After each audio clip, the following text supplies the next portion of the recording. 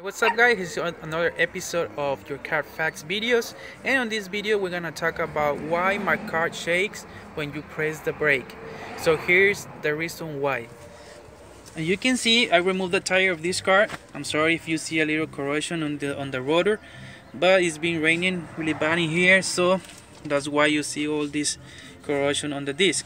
But the reason why your car shakes when you press the brake is because this rotor it's not completely flat from both sides or let's say one side.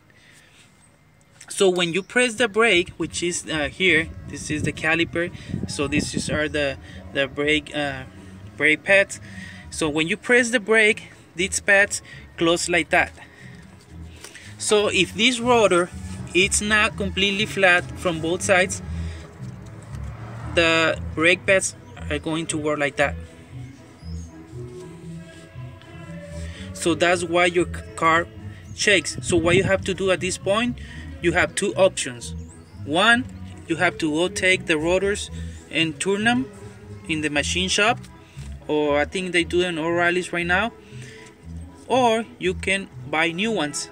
I think right now you they're really cheap. You can buy rotors for $20 15 bucks. So they're very cheap so whenever you're gonna change the brakes in the front of your car also replace the rotors.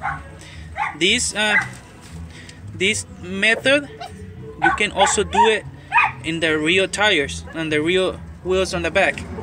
If you have uh, if you have rotors on the back also if you have drums you can also feel the same thing.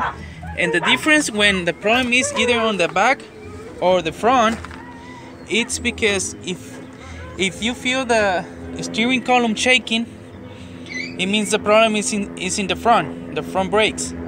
And you feel that the whole car is shaking it means the problem is in the back. So that's the problem why your car shakes. Okay guys don't forget to subscribe. If you like the video don't forget to thumb, up on the video. And if you have a, a question don't forget to make a comment. Thank you and i'll see you in the next video